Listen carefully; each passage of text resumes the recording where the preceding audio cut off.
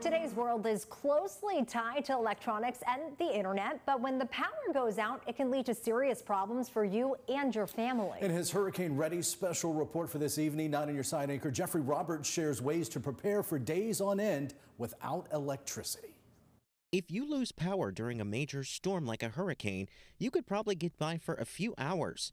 But do you have what it takes to get by for a few days or even a few weeks? Chris Murray directs the Pamlico County Emergency Management and says preparing for a big storm is essential to help you stay connected and survive. We rely on technology 24 7. but In today's world, you look at folks that don't do anything but electronic transactions folks that that's all they they do. And at some point they have to have a backup and and really it's it's back to the basics. While murray says you should always be prepared for power outages ahead of a hurricane not being able to use everyday technology like swiping a debit card could catch you off guard. There's typically plenty of warning uh, ahead of major power outages for hurricane. We we tell folks a lot of times going into storm season have a little bit of cash too because you know what we saw during Matthew and Florence. You know, uh, the internet's down, credit cards don't work, or, or bank card. So what happens if you can't access your money? Barry Robinson is the chief consumer banking officer for First National Bank. He says when a major hurricane hits, there's a plan in place to keep their services available. We have a uh,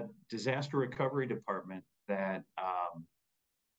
they monitor storm activity and as much as a week ahead of any potential landfalls that are forecast, we have all the appropriate parties together to monitor the activity. Although having accessible cash on hand may not be top of mind in today's world, Robinson says it's still a good idea to have that cash with you before a major storm happens. Have access to your checking, to your checkbook uh, for, from your checking account and also uh, probably gas in the cars so that if you run out of that cash, you can get to an area where you have a combination of cell service and power to access one of our branches or an ATM.